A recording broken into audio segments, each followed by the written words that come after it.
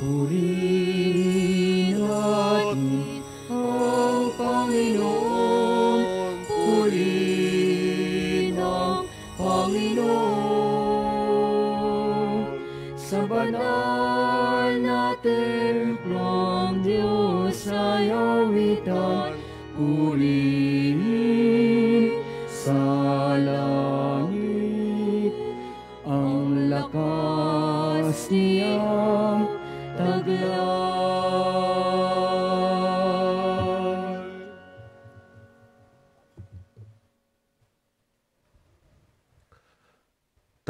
Natitipon sa ngalan ng Ama at ng Anak at ng Espiritu Santo. Amen.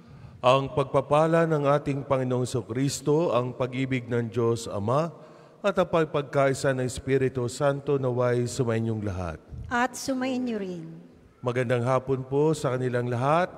Magandang hapon din po, Father. Welcome po sa Paris and National Shrine ni Santo Padre Pio.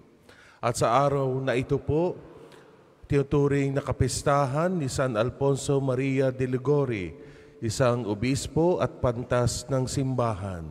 Siya ang tinatawag na lawyer turned theologian na siyang pundador o founder ng Redemptorist Fathers.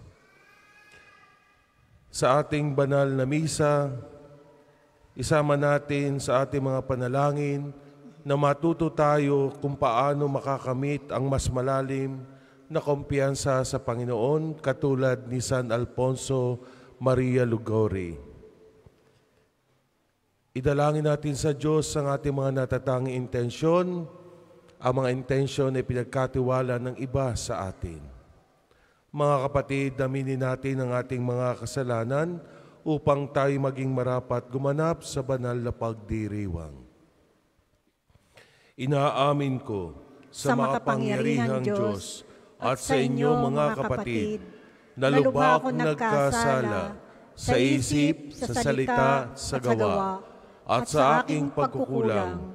Kaya sinasamo ko sa mahal na Birheng Maria, sa lahat ng mga anghel at mga banal, at sa inyo mga kapatid, na ako'y panalangin sa Panginoong ating Diyos. Kawaan tayo na makapangyarihang Diyos, patawarin tayo sa ating mga kasalanan, at patnubayan tayo sa buhay na walang hanggan. Amen. Panginoon, kawan mo kami. Panginoon,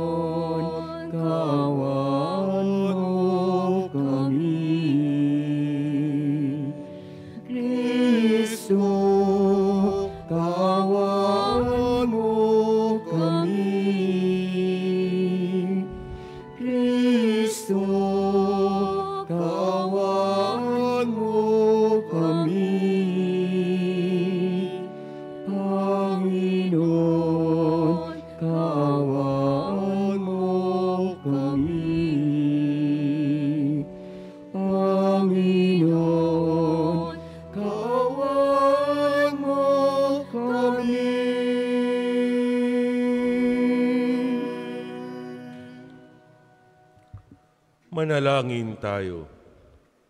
Ama naming makapangyarihan, lagi mong dinudulutan ng mga bagong uliran sa kagitingan ang iyong sambayanan.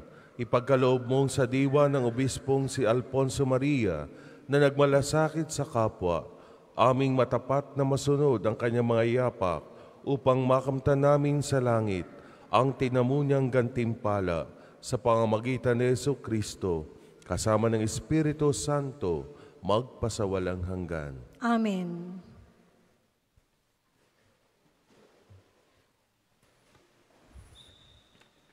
Pagbasa mula sa aklat ng Exodo.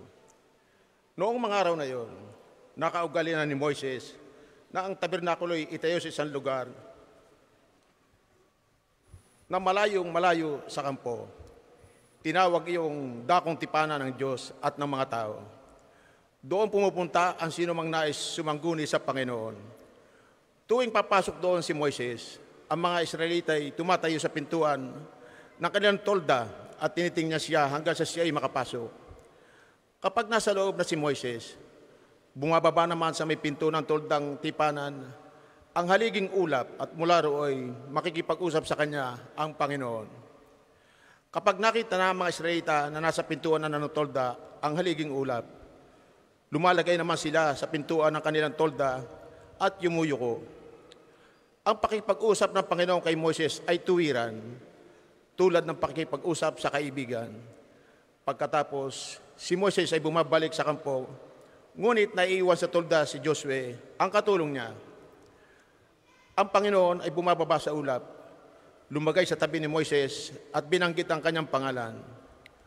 Panginoon, ang Panginoon ay nagdaan sa harapan ni Moises. Sinabi niya, Akong Panginoon ay mapagmahal at maawain. Hindi ako madaling magalit. Patuloy kong pinadarama ang aking pag-ibig at ako'y nananatiling tapat. Tinutupad ko ang aking pangako maging sa libo-libo at patuloy kong pinatatawad ang kanilang kasamaan, pagsalansang at pagkakasala. Ngunit hindi ko pinalalampas ang kasalanan ng Ama at ang pagpaparusa ko'y hanggang sa ikatlo at ikapat na san, sanlahi. Nanikluot si Moises at sumamba sa Panginoon. Sinabi niya, kung talagang kinalulugyan niyo ako, isinasamo kong samahan niyo kami kahit na ma- matigas ang ulo ng lahing ito.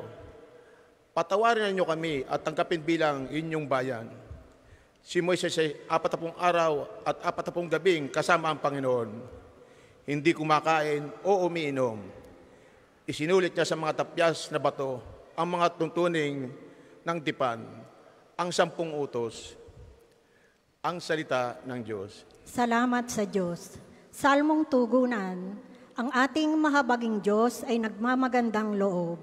Ang ating mahabaging Diyos ay nagmamagandang loob. Ang poon ay humahatil, ang gawad ay katarungan. Natatamo ng inapi ang kanilang karapatan. Ang balangkas ay utos kay Moses ibinilin, ang kahangangay gawang nasaksiyan ng Israel. Ang ating mahabaging Diyos ay nagmamagandang loob. Kay ganda ng kalooban, mahabagin itong Diyos. Kung magalit ay banayad, kung umibig naway, nawailbos. Banayad ka kung magalit, hindi siya nagtatanim. Yung tagya niyang galit, hindi niya kinikimkim. Ang ating mahabaging Diyos ay nagmamagandang loob. Kung siya ay magparusa, di katumbas ng pagsuway. Di na tayo sinisingil sa nagawang kasalanan. Ang agwat ng lupa't langit, sukatin may hindi kaya. Gayon ang pag-ibig ng Diyos sa may takot sa Kanya. Ang ating mahabaging Diyos ay nagmamagandang loob. Ang silangan at kanluran kung gaano ang distansya. Gayong-gayon ang pagtingin sa sino mang nagkasala. Kung paano nahahabag ang ama sa anak niya. Gayon siya nahahabag sa may takot sa Kanya. Ang ating mahabaging Diyos ay nagmamagandang loob. Magsitayo po ang lahat.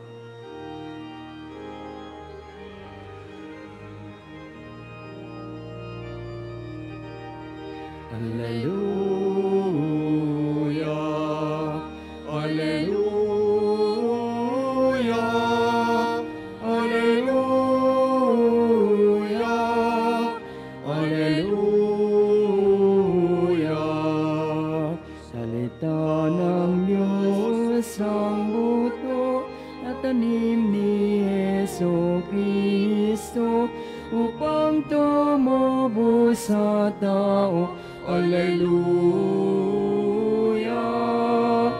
Hallelujah. Hallelujah. Hallelujah.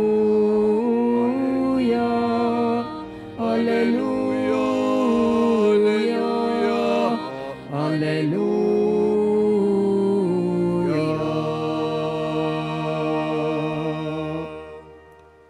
Sumainyo ang Panginoon, At sumainyo rin.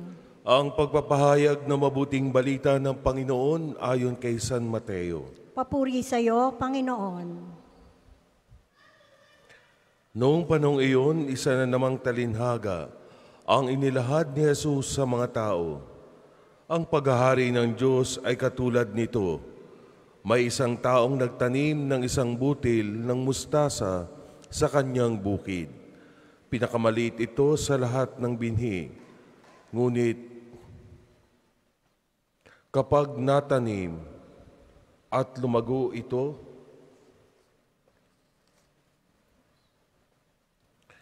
Noong panahon iyon, iniwan ni Jesus ang mga tao at pumasok sa bahay. Lumapit ang kanyang mga alagad at sinabi sa kanya, Ipaliwanag po ninyo sa amin ang talinhaga tungkol sa masasamang damo sa bukid. At ito ang tugon ni Jesus, ang anak ng tao ang naghahasik ng mabuting binhi. Ang bukid ay ang sanlibutan. Ang mga taong pinaghaharian ng Diyos, ang mabuting binhi at ang mga taong pinaghaharian ng Diablo, ang masasamang damo. Ang kaaway na naghasik ng mga iyon ay walang iba kundi ang Diablo. Ang pag-aani ay ang katapusan ng daigdig at ang mga anghel ang mga tagapag-ani.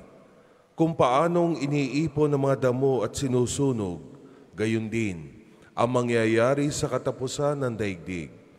Susuguin ng anak ng tao ang kanyang mga anghel at iipunin nila mula sa kanyang pinaghaharian ang lahat na nagiging sanhi ng pagkakasala at ang lahat ng gumagawa ng masama at ihahagis sa maningas na pugon. Do'y magnanangis sila at magngangalit ang kanilang ngipin at magliliwanag na parang araw ang mga matuwid sa kaharian ng kanilang ama. Ang may pandinig ay makinig. Ang mabuting balita ng Panginoon. Pinupuri ka namin, Panginoong Heso Kristo. Isang magandang hapon muli sa kanilang lahat at welcome po sa Paris and National Shrine ni ah, Santo Padre Pio. No? Ilan po ba sa inyo ang mga first time pa lang dito sa Pambansang Dambana? Meron po ba mga first time? Ayan, pakitaas po ng kamay. Ayan, may ilan tayo. So palakpakan po natin yung ilan. Yan. So maraming salamat po sa inyong pagdalaw at sana hindi ito yung una at huli yung pagbisita dito sa National Shrine of St. Padre Pio. No? At para sa mga naririto ngayon, kailangan sa bawat pagdulo natin ng banal na misa ay andoon yung saya at ngiti na palagi tayong masaya, nagagalak sapagkat tayo'y nagsasama-sama para manalangin no at uh, ganun din tanggapin yung uh, katawan at tugo ni Kristo ang katawan sa anyo ng banal na tinapay o yung banal na komunyon no? Sana lahat tayo ay natututong magpasalamat kahit may ang ilan sa atin ay may daladalang bigat ng problema, may mga pasanin, may mga pagsubok, pero andoon pa rin yung ating kasiyahan na makipagkita sa ating Panginoon sa pamamagitan ng sama-samang pananalangin sa banal na misa. So maraming salamat po sa inyong mga pagbisita at nawa yung mga panalangin na inyong idinudulog sa pamamagitan ni Santo Padre Pio ay matugunan at madinig ng Diyos sa kanyang panahon at oras. Huwag po tayong maiinip kung hindi kaagad maibigay yung ating mga dinadalangin sapagkat kung yung oras natin ang, ang mangyayari ay baka iba o matagalan na marinig ng Diyos. Subalit kung ang kanyang oras at panahon ang siyang mananaig para sa ating mga idinadaing na mga intensyon at panalangin, malamang kapag na-receive natin ang lahat ng ito, siksik, liglig, at umaapaw. Amen? Amen. So mga kapatid, ngayon, sa ating mga pagbasa, lalo sa ating ebanghelyo, binigyang kahulugan ng ating Panginoon yung mga talinhaga na kanyang binibitawan at ibinabahagi kapag may mga taong sumusunod at nakikinig sa kanyang mga pangaral. Ano nga po ba yung mga talinhaga na sinasabi ngayon na binigyang interpretasyon, kahulugan? Yun ay tungkol sa mabuting binhi at ang masamang damo. No? Yung wheat, which is yung trigo, at yung weed, yung mga masasamang damo. No? May isang kwento tungkol sa isang lalaki no? na kinarir na niya ang kanyang buhay dito sa mundo na gumawa ng masasama, no? Parang masaya siya na makagawa ng mga kasalanan lalo sa kanyang sarili at sa kanyang kapwa. Palagi niya itong ginagawa, no? At para bang walang Diyos sa kanya. Kaya naman sa kanyang kasamaan, kanyang sama ugali, ay bigla siyang namatay. At nung mamatay siya, madali lang, may umalalay sa kanya, no? Sa kanyang kaluluwa. Dalawang jablo ang nagmamadaling umalalay sa kanya at napakadali ng kanyang enrollment doon sa kaharian ni Taning o kaharian ng, ni Satanas. At nung makita niya ang apoy, no, na kanyang mapupuntahan ang kaharian kung saan ang si Satanas o ang demonyo ay naghihintay sa kanya, bigla siyang natakot, nagsumigaw, nagpupumiglas, sapagkat ayaw niyang mapunta doon sa apoy ng impyerno. Pero, huli na yung kanyang pagsisisi. Kung sana, nung nabubuhay pa siya, dito sa ibabaw ng mundo, nagawa niyang pagsisihan yung kanyang mga kasalanan, nagbalik loob at niyakap niya ang kabutihan, malamang hindi siya mapupunta sa apoy na impyerno. Dapat sana nakinig siya sa kanyang kapamilya. Nakinig sana siya sa kanyang mga kaibigan.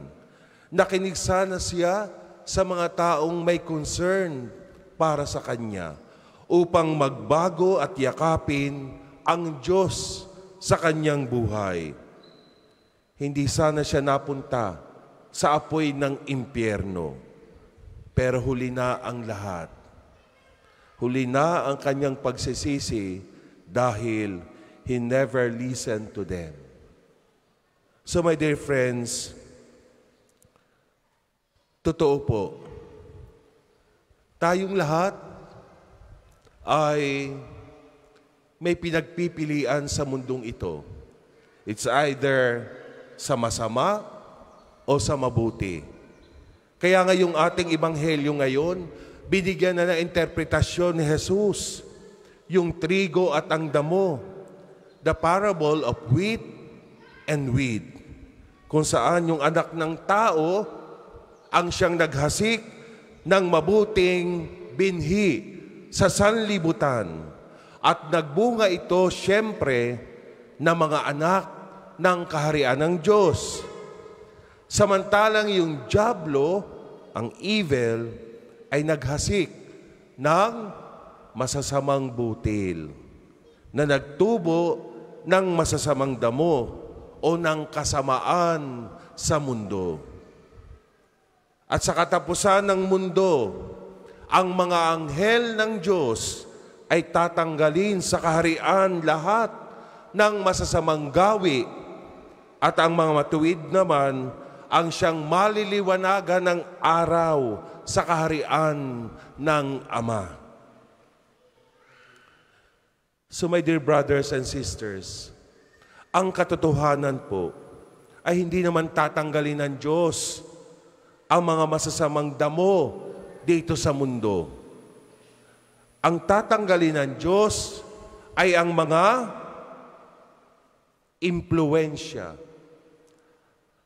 ang mga nagiging dahilan ng isang tao para maging masama. Bakit hindi tatanggalin ng Diyos yung mga masasamang tao kaagad? Yung mga itinuturing na masasamang damo? Kasi binibigyan pa ng pagkakataon ng Diyos na magbago ang masasamang ito. Lahat tayo, mula sa sinapupunan ng ating mga ina hanggang sa maging uh, lumaki tayo hanggang sa mga pagkakataong ito, lahat tayo nagtanim ang Diyos na mabuting binhi sa puso ng bawat isa. Innate, no? Likas na sa ating mga puso ang kabutihan, ang gumawa ng mabuti. Pero wari ang marami sa atin, nahihiyang gumawa ng kabutihan. Mas ini-entertain ang kasamaan ng mundo o i-entertain ang ibinibigay ng mundong ito sapagkat yun ang nagpapasaya. Pero ito ang nagdudulot ng kasalanan. Ang mga masasamang gawi. Minsan sinasabi ng iba, nakagawa naman ako ng kabutihan sa aking kapwa. Pero ang marami sa atin, kapag nakapagbigay, nakapagbigay ng kaunting tulong, o di kaya'y nakapagbahagi sa simbahan, ay ipinangangalandakan pa. Hindi sinasarili, it is between you and your God. Pinagmamalita na nakatulong. Alam nyo, ang kabutihan na totoo, kapag tayo'y gumagawa at nag extend sa ating kapwa, ay yung hindi ipinamamalita. Because alam na ng Diyos yung mga kabutihang ginagawa natin. Kaya minsan natututong maging masama yung iba dahil akala nila kapag nagbibigay tayo, kailangang in return, may maibalik din sa atin. Ilan sa atin ang ganon? Ang nag expect kaagad na kapag tayo'y nagbigay at nagbahagi ng anumang bagay sa ating kapwa, we are expecting also in return na may babalik kaagad sa atin o ibabalik nung taong ating mga tinulungan. Ilan sa atin ang ganun ang pag-uugali? Yung ba yung kabutihan? Ang iba naman, nagiging masama sapagkat nagiging judgmental ang marami sa atin. Naakala ng marami sa atin, ang isang taong dating masama ay hindi na po pwedeng magbago. Kaya yung pagkakakilala natin, halimbawa sa isang taong nabilanggo, nakulong, dahil sa nagawa niyang kasalanan, ay wala ng pag-asang magbago. Na kahit ang kanyang mga anak, kanyang kaapu-apuhan, wari ba'y itinutulad sa kung saan siya nagmula. Bakit ang marami sa atin ay nagdudulot ng kasamaan sa kanyang kapwa? na meron mang ibinibigay ang Diyos na pagkakataon para magbago. Malinaw yan sa ating ibanghelyo. Hindi tinatanggal ng Diyos ang masasamang damo. Yung impluensya nito, yung dulot nito na makapagkakasala sa isang tao. Kaya sana, ganon ang maging damdamin natin sa mga taong nagiging masamang damo sa panangin ng iba at sa panangin ng panlipunan. Sabi, wala namang perfecto, no? Kahit nga si perfecto at siya perfecta, hindi sila perfect. Binibigyan tayo ng Diyos na magbago upang sa ganoon, kapag sinugunan niya ang kanyang mga anghel, kapag panahon na ng anihan at ang katapusan ng mundo, batid natin kung saan tayo mapupunta. Batid natin dahil gumawa tayong matuwid at naging mabuting binhi tayo. Alam natin kung saan tayo patutungo. Yakapin natin ang kabutihan sapagkat natural yan, likas sa ating mga puso. So my dear friends, sa araw na ito, it is your choice between good and evil. Saan ba dapat tayo? Sa pagiging masamang damo o isang mabuting binhi? Patuloy po nating pagnilayan at makita sana natin ang ating mga sarili na totoo na may kabutihan ang bawat isa sa atin. Amen.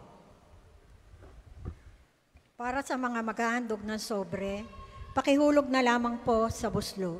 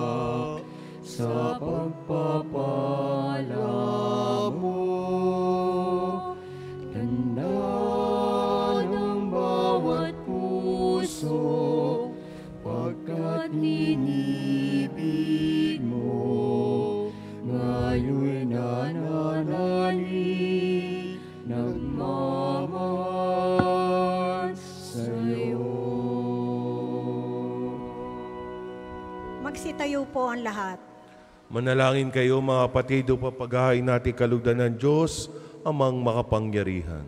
Tanggapin nawa ng Panginoon itong paghahain sa iyong mga kamay, sa kapurihan niya at karangalan, sa ating kapakinabangan at sa buong sambayanan niyang banal. Ama naming lumikha, pag-alabin mo ang mga kalooban namin sa ningas ng iyong Espiritu na ipagkaloob mo kay San Alfonso Maria para may pagdiwang ang paghahaing ito at sa pamamagitan nito, ikaw ay mahandugan ng sariling pamumuhay bilang banal na alay sa pamamagitan ni Yeso Kristo kasama ng Espiritu Santo magpasawalang hanggan. Amen.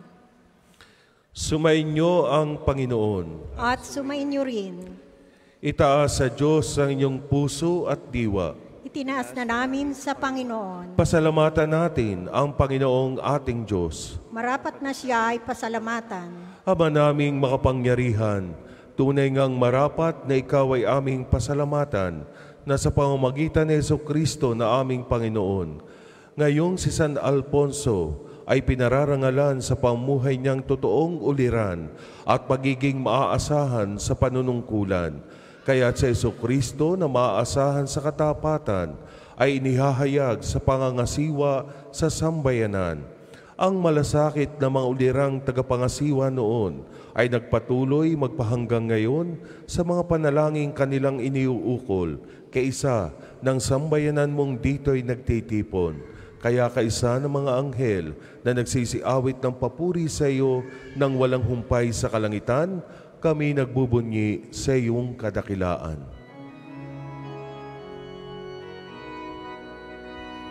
Banal ka pong may kapal, banal ang iyong pangalan, banal ang iyong kararihan, langit lupa'y nagpupugay sa iyong kadakilaan, di arakilan ang lahat, ang aparito mong anak na siyang nagmulat sa bulag sa tumiyay nagpalakad at nakiramay sa lahat. Kung hindi kayo lumuhod, manatili pong nakatayo ng may paggalang. Ama naming banal, ikaw ang bukal ng tanang kabanalan. Kaya sa pamamagitan ng iyong Espiritu, gawin mong banal ang mga kaloob na ito upang para sa amin maging katawan at dugo ng aming Panginoong Heso Kristo. Bago niya pinagtisang kusang loob na maging handog, hinawakan niya ang tinapay, pinasalamatan kanya, pinagati-hati niya iyon, iniabot sa kanyang mga alagad at sinabi, Tanggapin ninyong lahat ito at kanin. Ito ang aking katawan na ihahandog para sa inyo.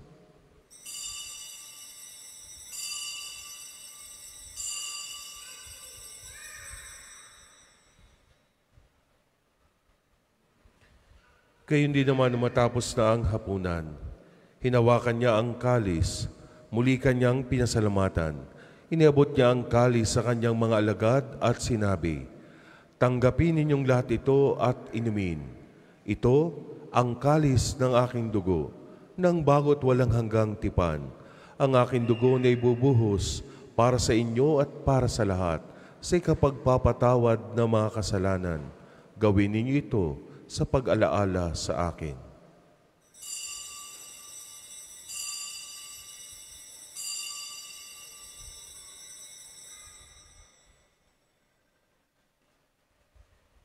Ipagbunyi natin ang misteryo ng pananampalataya. Si Kristo'y namatay, si Kristo'y nabuhay, si Kristo'y babalik sa wakas ng panahon. Ama, ginagawa namin ngayon ang pag-alaala sa pagkamatay at muling pagkabuhay ng iyong anak. Kaya't iniaalay namin sa iyo ang tinapay na nagbibigay buhay at ang kalis na kakaloob ng kaligtasan. Kami nagpapasalamat dahil kami iyong minarapat na tumayo sa harap mo para maglingkod sa iyo.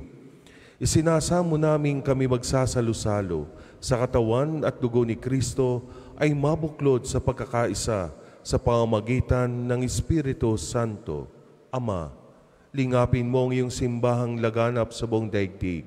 Puspusin mo kami sa pag-ibig kay isa ni Francisco na aming Papa at ni Gilbert na aming Obispo at ang Kaparian.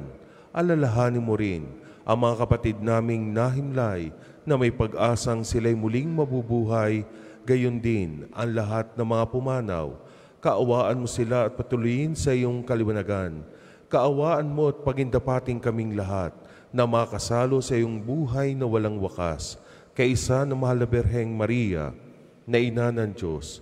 Kaisa ni San Jose, na kanyang esposo. Kaisa ng mga apostol. Kaisa ni San Alfonso at ng mga banal na namuhay dito sa daigdig ng kalugod-lugod sa iyo, may pagdiwang nawa namin ang pagpupuri sa ikararangal mo sa pamamagitan ng iyong anak na aming Panginoong Heso Kristo.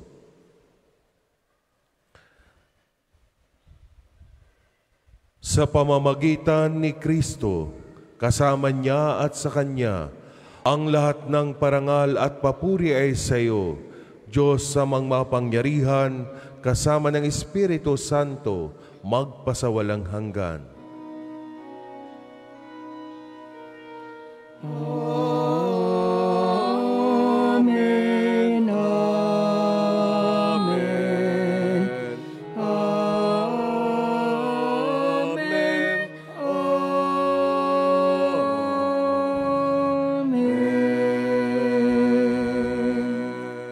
Sa tagubili na kagaling na utos sa turo ni Jesus na Panginoon natin at Diyos, ipahayag natin ang lakas loob. Ama namin, Ama namin, sumasalangit ka, sambahin ang ngalan mo, mapasangin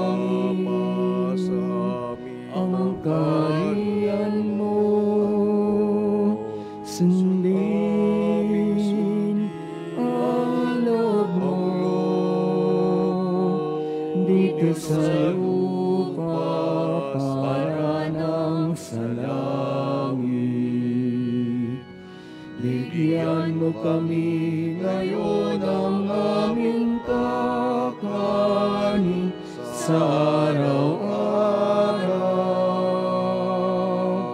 At patawarin mo kami sa aming mga sala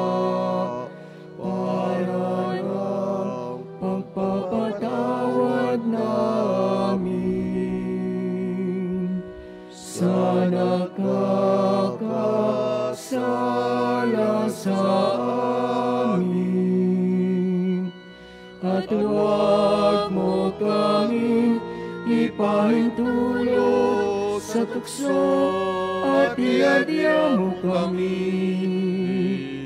sa lahat ng masama.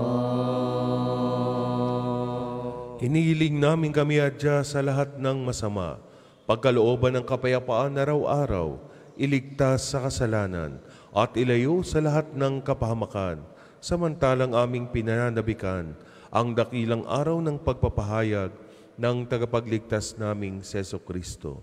sapagkat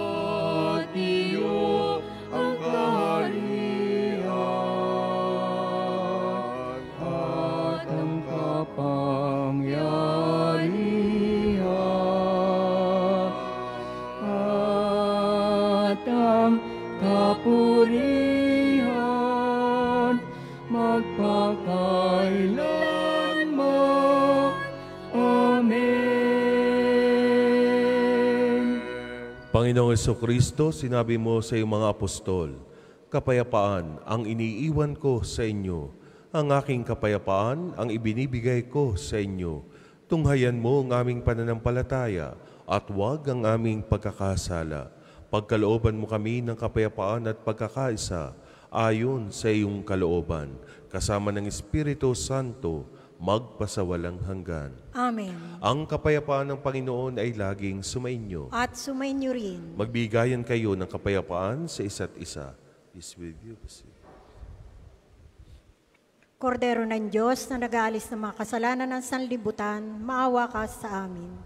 Kordero ng Diyos na nag-aalis ng mga kasalanan ng sanlibutan, maawa ka sa amin. Kordero ng Diyos na nag-aalis ng mga kasalanan ng sanlibutan, ipagkaloob mo sa amin ang kapayapaan. Kung hindi kaya lumuhod, manatili pong nakatayo ng may paggalang.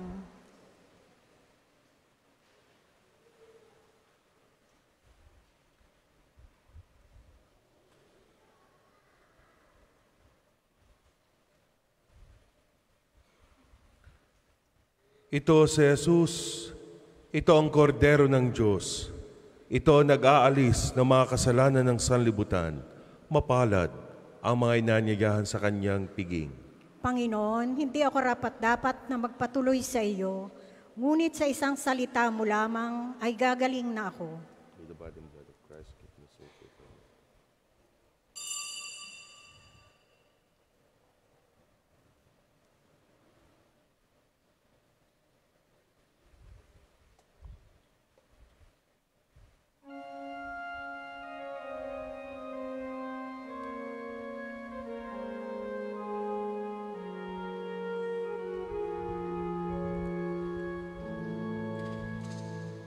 Huwag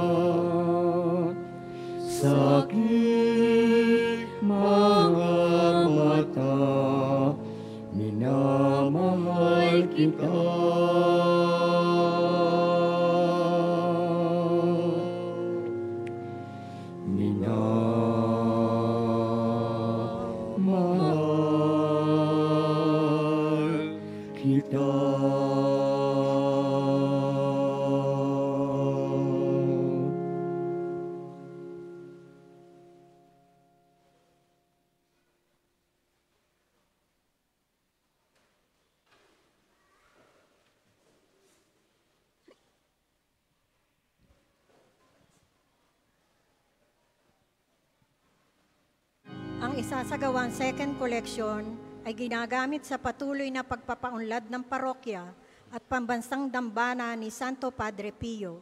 Salamat po sa inyong handog.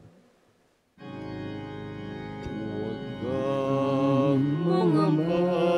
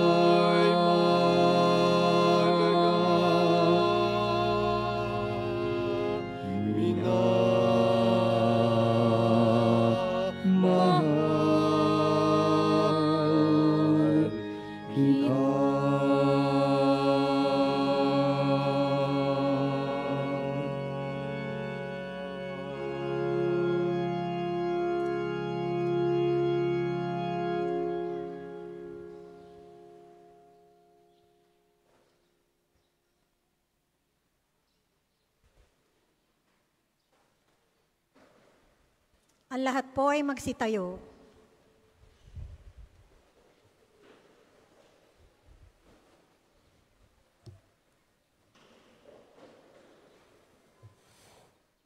Manalangin tayo. Ama naming mapagmahal, binigyan mo ng pagkakataon si San Alfonso Maria para matapat na gumanap at maglahad ng paghahain ng pakikinabang. Lagi nawa naming tanggapin ito at sa pagtanggap namin ay tumanaw kami ng utang na loob sa iyo sa pamamagitan ni Yeso Kristo kasama ng Espiritu Santo magpasawalang hanggan. Amen. Panalangin ng pagtitiwala kay Santo Padre Pio. Padre Pio, taga Pietrelcina, mongheng banal, pintakasin santo ng milenyong kasalukuyan, gabay namin sa pagtahak sa landasing makalangit, takbuhan sa pangangailangan, huwara ng pagtitiis. Sa iyo namin inilalapit aming mga kagipitan, sa iyo po ay binibilin kalusugan at kabuhayan.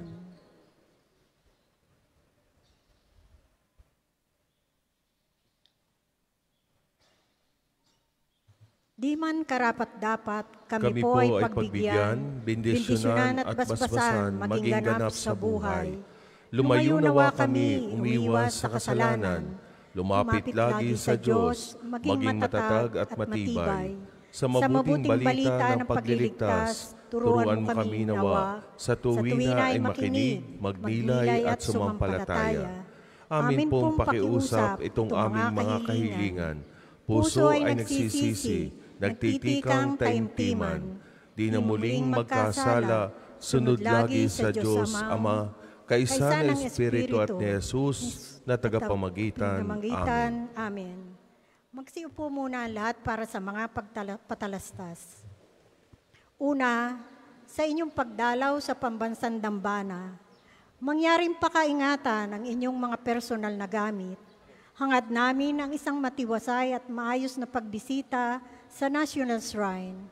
Ikalawa, kung inyo pong mapapansin, ay isinasagawa na natin pagsasaayos ng extension area sa gilid ng main church at ang minor repairs ng Divine Mercy Sanctuary. Muli po kaming nananawagan sa mga may mabubuting puso na nagnanais maging bahagi ng pagawaing ito. Mangyaring makipag-ugnayan po kayo sa opisina ng parokya o sa pamisahan para sa inyong mga tulong at donasyon. Ikatlo, mga kapiyo, ang osteria ay lugar dito sa pambansang Dambana na maaring puntahan at kainan ng mga bumibisita dito.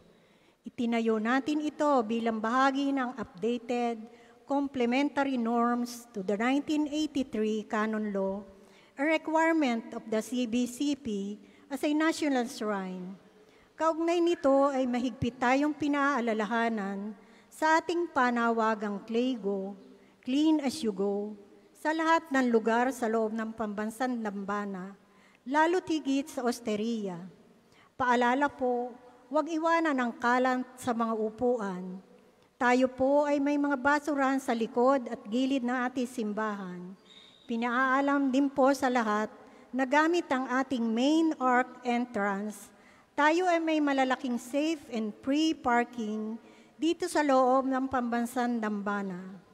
Ikaapat, mga kapiyo, palagi po natin tandaan na ang pambansang Dambana ay isang sagrado at banal na lugar. Mangyaring sa pagbisita natin dito ay sundin ang mga tama at angkop na kasuotan, tanda ng pagsamba at pagbibigay galang sa ating Panginoon. Ikalima, isang patalastas, bahagi ng layuning pagpapaunlad ad experimentum ng parokya at pambansang dambana ni Santo Padre Pio. Simula po noong Hunyo ay sa kapilya na ng San Pedro pinagdiriwang ang mga pamparokyang gawaing sak- sakramental tulad ng binyag, kasal at mga katulad nito. Gayunpaman, ang inyong makikitang mga pagdiriwang ng kasal dito sa main church ngayong buwan ng Agosto ay may mga naka-reserve na schedules noong nagdaang taon pa at nagkataong napasabay naman sa pagsasaayos ng Divine Mercy Sanctuary. Mangyaring makipag-ugnayan kayo sa opisina para sa mga paglilinaw at katanungan. Maraming salamat po at mangyaring panatilihin natin ang kalinisan, katahimikan at diwa ng pananalangin sa loob at labas ng ating mga simbahan. Magsitayo na po ang lahat para sa pagbabasbas ng religious articles.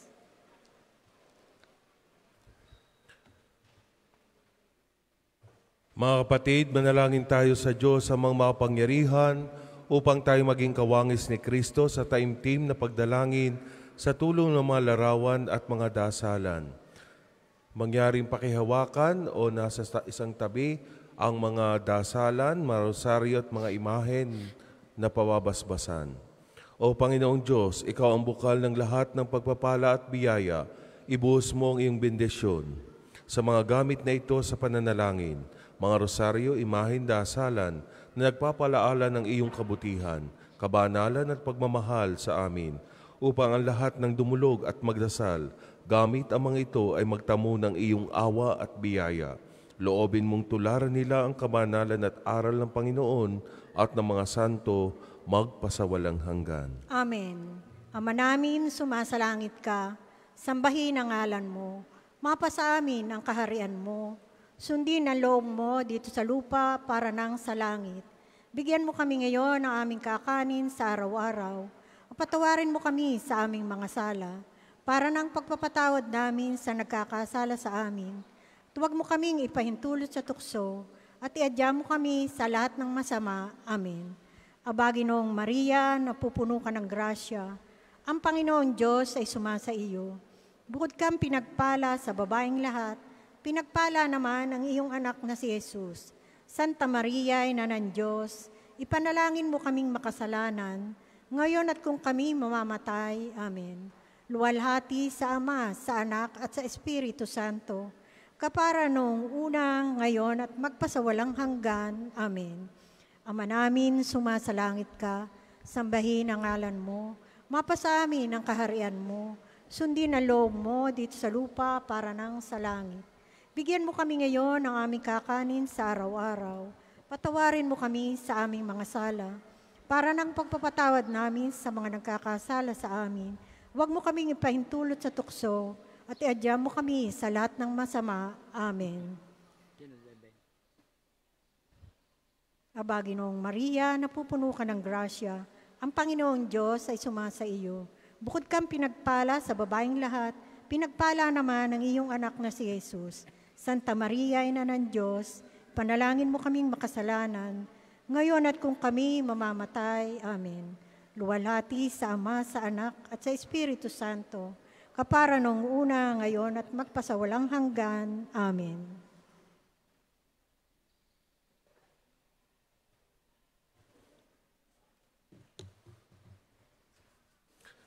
Sumainyo ang Panginoon At sumainyo rin. at pagpalain kayo ng makapangyarihang Diyos, Ama, at Anak, at Espiritu Santo. Amen. Tapos na po ang ating banal na misa, taglayin ninyo sa inyong pag-alis ang kapayapaan ni Kristo. Salamat sa Diyos. Muli magandang hapon po sa kanilang lahat at mag-iingat po kayo sa inyong mga pag-uwi. Salamat po.